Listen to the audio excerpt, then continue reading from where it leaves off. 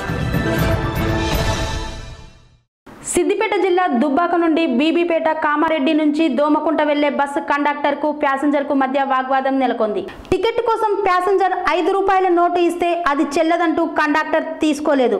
ప్రభుత్వం ఏమైనా ఈ నోటు చెల్లదని చెప్పిందా అంటే అవన్నీ నీకెందుకు? నేను తీసుకోను అని కండక్టర్ చెప్పాడు. మీరే తీసుకోకపోతే సామాన్య జనాలు ఎలా తీసుకుంటారని ప్యాసింజర్ ఆవేదన వ్యక్తం చేశాడు. ప్రజలు తప్పుదారి పట్టేది మీ వల్లే. మీరే ఒకరికి చెప్పాల్సింది పోయి మీరే ఇలా చేస్తే ఎలా అని ప్యాసింజర్ ఆగ్రహం వ్యక్తం చేశాడు. అవుతుంది మరి ఇప్పుడు గవ- గవర్నమెంట్ సర్వెంట్ ఇలా కండక్టర్ ఈయన చెల్లంటే మరి ప్యాసింజర్ తీసుకుంటుంది ఈ నోటు ఐదు రూపాయల నోటు ఇది. దీనికి ఏమైనా మన ఉన్నది అయిపోయి హోల్ ఉన్నది? ఏమున్నది ఇప్పుడు?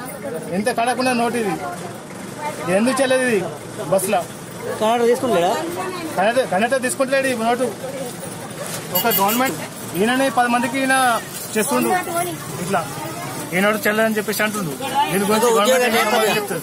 biryani zone the family restaurant now at ECL cross roads our specialities biryani kebabs Mughlai Indian Chinese and tandoori. మా వద్ద dining home delivery take away outdoor catering సదుపాయం కలదు. మా అడ్రస్ సూర్య ఆర్థోపెటిక్ హాస్పిటల్ ప్రక్కన ఈసీఎల్ క్రాస్ రోడ్స్ మరియు Chakrapuram cross roads Kushaiguda.